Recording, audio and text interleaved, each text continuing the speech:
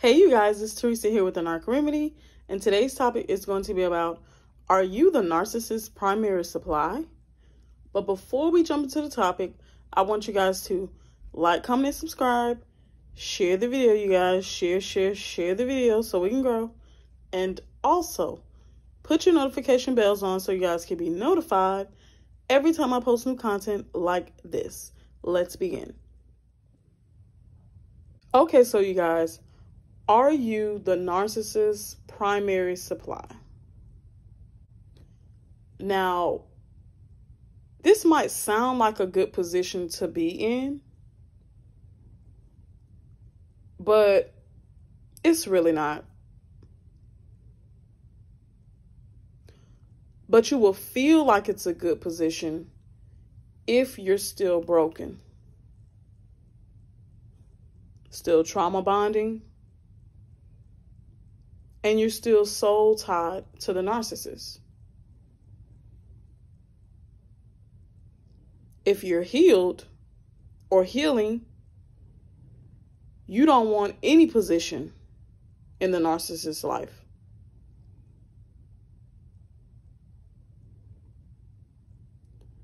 Being the favorite of the abused, the narcissist, means that you're abused in the most devious and hurtful ways. It means that you're the one they keep the most secrets from. And when the secrets come out, you are the most hurt by them. Being the primary supply for the narcissist is actually the worst position that you can hold with one.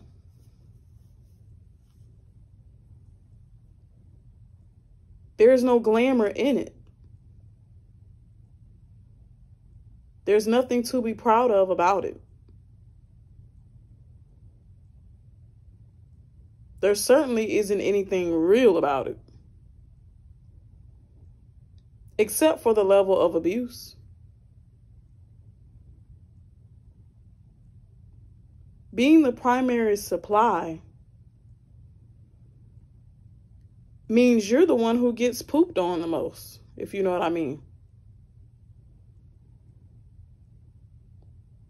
It definitely doesn't mean the narcissist loves you more than the other supplies.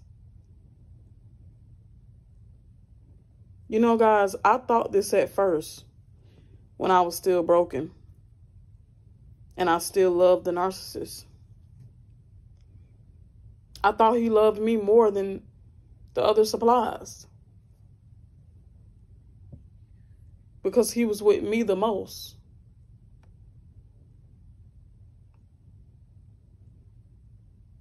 But they don't love any of you. And the narcissist that I was with, he didn't love me either. And what's so crazy about it is they won't let you go. Why? Because they need you to abuse. They have to have someone to blame to take the accountability that they're not willing to take. They have to have someone to scream at, to throw things at. They have to have someone to insult. They have to have someone to abuse in the bedroom. To take out all of life's anxieties and pain on. You're going to be their emotional punching bag. And sometimes physical.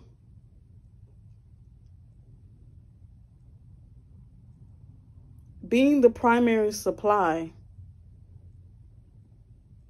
means that you're the first person who gets pain and the most of it.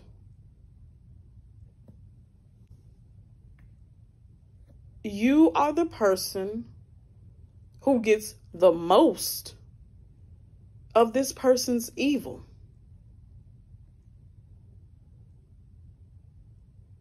It's a terrible place to be. Believe me. Because I've been there. It's not some type of prize to be the narcissist's primary supply. It doesn't mean that they love you any more than the other supplies. It doesn't mean they care about you more. You're the one who gets screamed at the most, insulted the most, who gets blamed the most.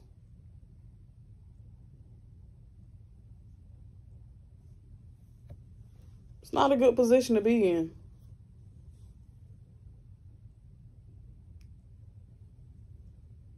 You're the first one in the narc's harem, actually. Primary and main supply are the same. Anybody after that, they're just supply. So I want you guys to think about this.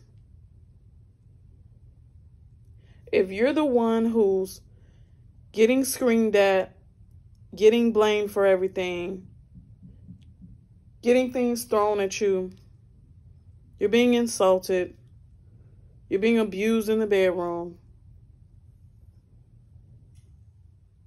You could be the narcissist's primary supply. So if you are getting those things handed to you, I suggest you leave. I suggest you leave. Because the narc is definitely going to keep you around as long as you want to be around and as long as you're willing to be around. So if you guys like this content, please be sure to like, comment, and subscribe. Share the video so we can grow. And also, put your notification bells on so you guys can be notified every time I post new content like this. Bye, you guys.